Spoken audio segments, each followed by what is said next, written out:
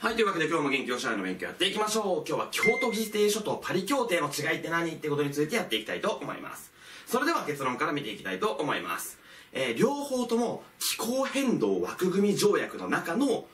具体的な決ま決まりになっていきます。京都議定書が2020年まで、そしてパリ協定は2020年以降の目標になっていきます。それでは具体的に見ていきたいと思います。えー、京都議定書パリ協定、名前は全く違うんですけど、両方とも環境に関する目標だよっていうところが共通になっています。じゃあその始まりですね。もともと1992年、えー、国連環境開発会議っていうのが、えー、っと、開かれます。これは別名地球サミットというふうにも言われます。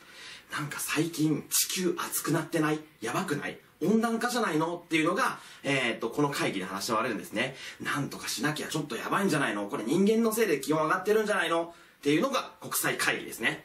で、この会議でなんとかしなきゃいけないよね？っていう風な形で、気候変動、えー、っと、枠組み条約っていうのが、えー、作られる、えー、作られることになります。これは何かっていうと、地球温暖化にそれぞれ取り組んでいこうねっていうものなんですけど、ただ、まだこれ1992年なので、結構昔なんですよ。まだ温暖化についてあまり詳しく分かっていない。え何がその原因なのかが分からないっていう状況なので、何をすれば地球温暖化を止めれるっていうのが、はっきりと分かっていなかったんですよ。だから、なんとなく世界で地球温暖化に対する問題を解決していこうねっていう、ふわっとした条約だったんですよ。だから、曖昧、えー、だったので、もうちょっと具体的な目標を決めなきゃね、えっと、どの国がどういうことをして温暖化の対策をしなきゃいけないよねっていうふうに決まったのが、この2つの京都議定書と、えー、パリ協定になっていきます。えー、まず1997年ですね。地球サミットの5年後ですね。えっと、地球温暖化の具体的な目標である、えー、京都議定書っていうのが定められることになります。これは、とにかく2020年までは、こういう目標でやっていこうね。まあ、これはまた後から具体的な話はするんですけど、こういうことをこの国でやっていきましょうよ !2020 年まではこうしましょうよっていうのが、1997年に、え決められることになります。で、まあ、さらに、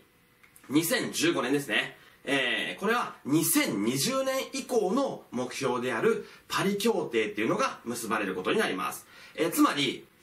えー、まずそもそも地球温暖化なんとかしようよねっていう話し合いが行われます。ただ、ふわっとした、えー、条約、えー、気候変動枠組み条約っていうふわっとしたものしかなかったので、まずは2020年までは京都議定書っていう具体的な目標、そして2020年以降はパリ協定っていう具体的な目標をやっていきましょうね。この2つによって地球温暖化を具体的に解決していきましょうっていう話なんですね。じゃあそれぞれの条約見ていきたいと思います。まず、京都議定書ですね。これ日本で採択された、え、条約になってくるので、え、テストでも、え、非常に出やすくなってます。えまずこれは、この京都議定書を約束した国っていうのは、法的拘束力があって強制です。この目標を強制的にやらなければいけませんよ。そして、その守らなければいけないのは、先進国のみですね。えー、だから、その190何カ国が結んだんじゃなくて、30何カ国かな？っていう先進国のみ強制だったんですよ。そして、その目標、数値目標が何パーセント削減とかっていうのがあるんですよ。二酸化炭素を何パーセント減らしましょうで、それを達成できなければ、お金払ってくださいよねっていうものだったんですね。で、この京都議定書に関しては、えっ、ー、と、一応2020年までっていうふうになったんですけど、なんかあんまりその、えっと、はっきりと、まあ、できなかったわけですよ。っていうのも、当時、まあ、その、発展していったインドとか中国が入っていなかったりとか、あとアメリカが、いやいや、そんなね、強制的にやったり、お金払わせるくらいなら俺たちやりませんって言ってアメリカが入っていなかったりとかして、いやいや、本当にこれなんか大丈夫なの？っていう感じでした。えー、なので、新しいルールを決めなければいけなかった。えー、2020年まではとりあえず京都議定書でやります。2020年以降どうしなきゃいけないの？っていうのをいろいろ話し合われてきたんですけど、まあ、何回も話し合いをしていく中でも結構揉めるんですよ。っていうのも発展途上国も含めて全部の国をそのルールで従えようとすると発展途上国からも、えっと、不満が出てくるわけですよ。お前たち先進国は100年ぐらい前に何にもルールがないまま好きに二酸化炭素を排出して発展してきたやないか。それが今になって俺たちが頑張って発展しようとした時になんで抑えなければいけないの？っていうのがあったりとかいやいや京都規定書みたいに罰金とかあったら俺たち嫌なんだけど今は先進国だけだけど発展途上国とかも罰金とかあったら嫌なんだけどっていうふうに結局結構揉めたんですよね。嫌だ嫌だっていうふうになったのでパリ協定はそこを上手にも全部の国ができるように決めていきました。パリ協定ですね。えー、これは目標達成は義務じゃないよ。なんかその失敗失敗っていうかそのまあ目標達成できなくても義務じゃないのでお金は発生しませんよ。だから全部の国とりあえずやりましょうよ。190何カ国全部で環境問題取り組んでいきましょうよ。っていう条約だ、えー、条約というか決まりだったんですね、えー、これによってパリ協定は京都議定書がいくつかの国しかできなかったものを一応3カ国全部の国が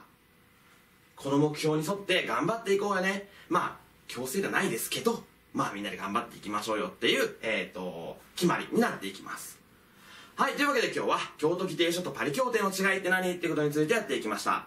まあ、この2つっていうのは地球温暖化に対する具体的なルールになっていきます。そもそも1992年に地球サミットで温暖化について何とかしていかなければいけないよねっていうふうになったんですけどただ具体的に何をすれば地球温暖化が防がれるのかっていうのはその当時はまだ分かっていなかった。だから、まあ、みんなでとりあえず頑張っていきましょうよっていう条約にしました。そしてそこから、えー、年数が経った後あ二酸化炭素がこれ原因なんだっていうのが分かった時に京都規定書っていう具体的なルールを決めます。えー、日本は何パーセント、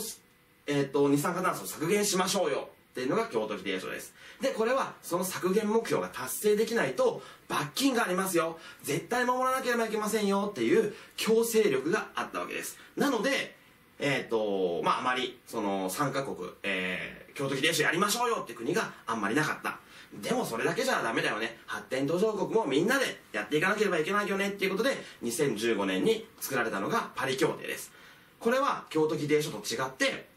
強制力はないんですけどみんなで参加してみんなで地球温暖化問題に取り組んでいこうよっていう、えー、協定でそれがまあ京都議定書との違いになっていきます。